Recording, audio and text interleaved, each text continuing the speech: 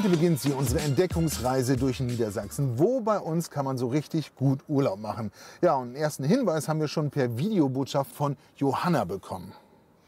Hallo Jens, ich habe gehört, du bist in Niedersachsen unterwegs. Dann schau doch mal bei uns im Emsland vorbei. Dann zeige ich dir, wie vielseitig unsere Region ist. Und ich verspreche dir, du kommst richtig ins Schwitzen. Im, am und auf dem Wasser. Ja, Schwitzen ist jetzt eigentlich gar nicht so meins, aber Wasser, das klingt hervorragend. Also auf ins Emsland.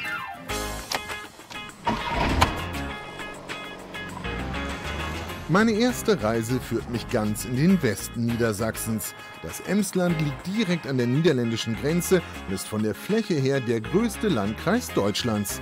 Den will mir heute meine Reiseführerin Johanna Lübbers vorstellen.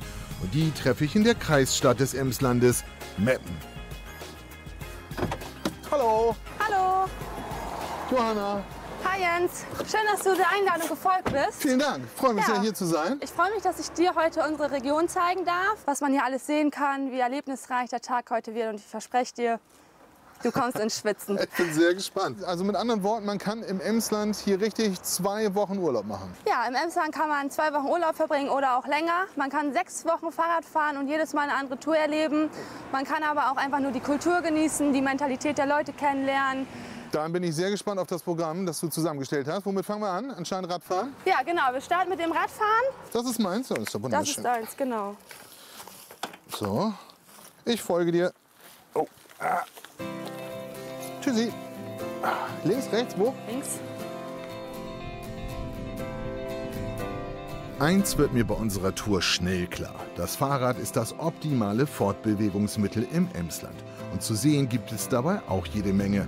Ob in Meppen selbst, im Marinepark Emsland, wo man campen kann oder Ferienhäuser direkt am Wasser mieten oder einfach entlang der Ems, der Hase oder des Dortmund-Ems-Kanals. Einfach schön. Also was mir schon mal ausgesprochen gut gefällt, ist, dass alles schön ebenerdig hier ist, Ja. schön flach. Ne? Ja. Da fahre ich ja am liebsten so Rad. Ja, dann würde ich sagen, bist du bei uns im Emsland äh, genau richtig, weil bei uns ist eigentlich eine Flachlandgarantie. Wir haben 3500 Kilometer ausgeschildertes Radwegenetz Wow. und davon 2100 Kilometer Radwegenetz, was jetzt unabhängig von unterschiedlichen Routen. Wir sind auch im Ranking von der ADFC Radreiseanalyse in diesem Jahr auf Platz 2 der Top 10. Also es ist immer für uns wirklich so ein Qualitätssiegel, worüber wir uns auch jedes Jahr wieder freuen. Wie weit ist der noch? So langsam? Also ich will nicht sagen, ich kann nicht mehr, aber... Hm. Wir sind angekommen. Ja? 100 Meter noch. Unser Ziel ist die Lea Pünte, die einzige noch existierende seilgebundene Fähre auf der befahrenen Ems. Moin. Moin. Ja, das ist ja stark. Ja, gerne. Wir würden wo gerne mal mit. Früher, hat Johanna mir erzählt, wurden mit der kleinen Fähre Bauern und ihr Vieh zu den Weiden transportiert. Heute hauptsächlich Touristen und Radfahrer. Hiermit also macht man das jetzt so, ne? Das ist so, ist das so eine Tradition hier? Hat man so früher übergesetzt mit dieser Technik, oder? Ja, um das Seil nicht immer mit den Händen anpacken zu müssen. Ne? Und äh, hat man diese Klötze erfunden. Wir nennen die Staulbein oder Stuhlbein oder Zugholz. Wie lange gibt es schon solche Fähren hier im Emsland? Ist das schon so was Traditionelles? Hier ist eine gewesen, eine historische, die ist 1965 eingestellt worden, die Fahrt, weil es nicht mehr lohnte und die wurde auch betrieben vom Wasser- und Schifffahrtsamt. Ja, um hier die Bürger zur anderen Seite zu bringen. Und die Tradition wollten wir jetzt fortsetzen und haben wir das wieder aufgegriffen und neu, neue Pünte bauen lassen. Was muss ich machen? Ja, hier eingreifen und das, dass sich das verklemmt. Also verklemmt so, oder was? Ja. Und jetzt? Und jetzt ziehen. Jetzt läuft wieder hinten hin. Oh Mann, okay. Ja. Ah, Hier. Oh, das war schon anstrengend eher. Uah. Verhakt, verhakt. Und wieder hier rein. Okay. Da war Radfahren ja leichter. Ja. Ja. Und so mit. Okay. Ah ja, da wäre ja Schwimmen leichter gewesen. Und dann macht ihr den ganzen Tag, wa? Und wenn da jetzt einer kommt? Das schaffen wir dicke. Wenn da jetzt einer kommt. Okay. Geschafft. Eigenhändig habe ich die Pünte mit über die Ems gezogen.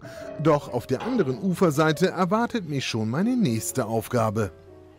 Hallo. Moin, hallo.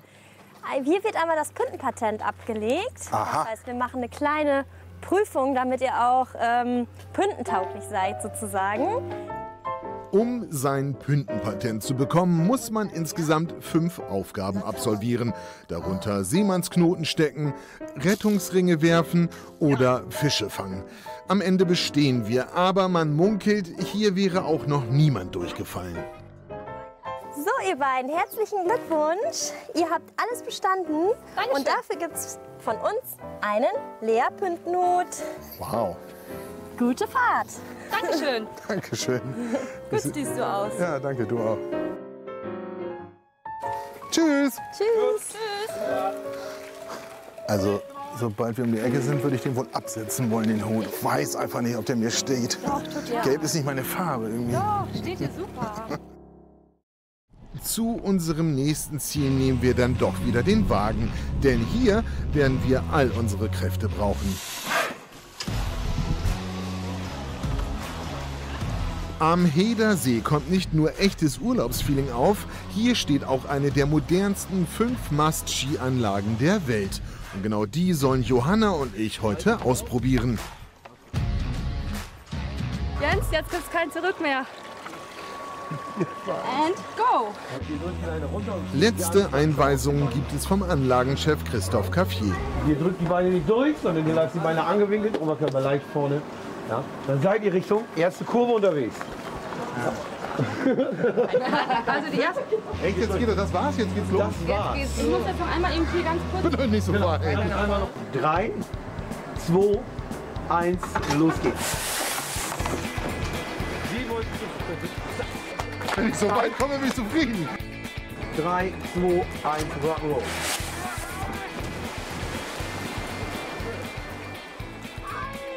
Das war ordentlich, oder? Ich glaube, ich war ganz schön weit. Nee, das war es nicht. Schnell müssen Johanna und ich lernen. Es ist noch kein Meister vom Himmel, dafür aber schon ordentlich ins Wasser gefallen. Angeber. Es braucht etwas Zeit und Hartnäckigkeit. Doch dann, schließlich, nach ein paar Versuchen und vielen geschluckten Litern Seewasser, hat Johanna so langsam den Dreh raus. Steht! Sie steht! Sie stand. Das kann ich natürlich nicht auf mir sitzen lassen.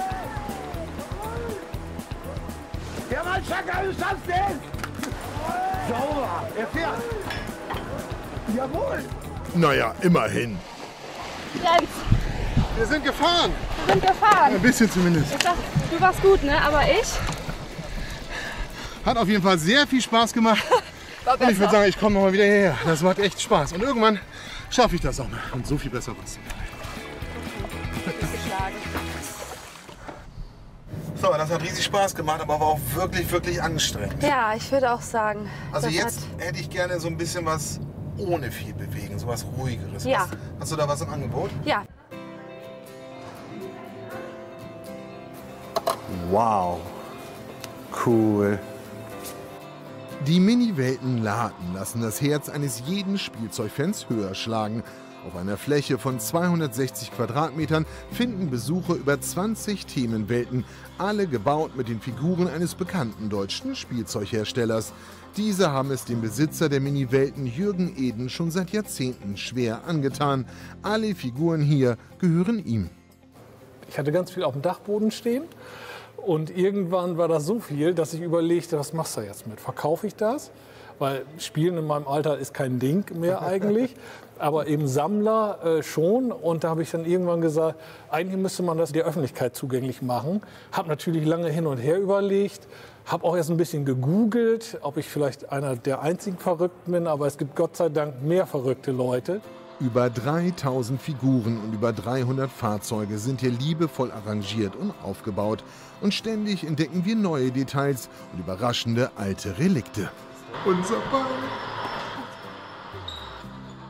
Das ist wirklich der Wahnsinn. Da kommen wirklich viele, viele Kindheitserinnerungen richtig wieder hoch. Ich sehe so viele Sachen, mit denen ich auch gespielt habe. Also ich könnte auch stundenlang hier bleiben, aber ich glaube, wir müssen auch weiter. Ne? Ich schaue gerade auf die Uhr und ich glaube, wir müssen zum nächsten Ziel. Ne? Alles klar. Dann vielen, vielen Dank. Ja, gerne. Schön- großartig. Hat viel Spaß Schön, dass ihr hier wart und kommt gerne noch mal wieder. Das machen wir. machen wir. Bestimmt. Weiter geht's. Dankeschön. Tschüss. Ciao. Ja, wir hatten jetzt einen tollen Tag im Emsland Mhm. und jetzt habe ich noch eine Überraschung für dich und da gehen wir jetzt mal hin. Oh, ich bin gespannt und mag Überraschung. Oh, aufregend. Wir fahren Bahn. Ja, wir fahren jetzt mit der Feldbahn. Sind jetzt hier beim Moormuseum in Geste. Und nachdem wir schon so einen erlebnisreichen und actionreichen Tag hatten, ähm, kommt jetzt der gemütliche Schluss und wir genießen die Landschaft und das Moor. Bin ich total bereit für. Kann losgehen. Kann losgehen. Die Feldbahn stammt aus der Zeit, als hier im Emsland noch Torf abgebaut wurde. Früher war hier ein Hochmoor. Mit der Bahn wurde damals der abgestochene Torf zu den Fabriken gefahren. Heute können Besucher auf der drei Kilometer langen Strecke die Natur genießen und viel über die Moore des Emslandes lernen. Das ist ja ein Wahnsinn, wie die Landschaft hier an einem vorbeischießt.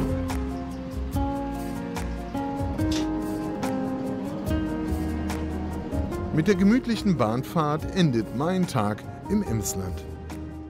Ach, das war schön. Ja, freut mich, dass es dir gefallen hat bei uns, Jens. Ich hoffe, wir sehen uns noch mal wieder. Vielen Dank für diesen tollen Tag. Es war wirklich abwechslungsreich, hat richtig viel Spaß gemacht. Man muss sagen, hier im Emsland kann man es gut aushalten. Junge, Junge, was für ein langer, spannender und toller Tag hier im Emsland. Ich glaube, es ist ziemlich deutlich geworden. Hier kann man wirklich seinen Urlaub gut verbringen oder einfach mal fürs Wochenende kommen. Nächste Woche sind wir dann in einer anderen Region in Niedersachsen und da wird es bestimmt auch spannend. Bis dahin wünsche ich Ihnen ein schönes Wochenende. Ciao.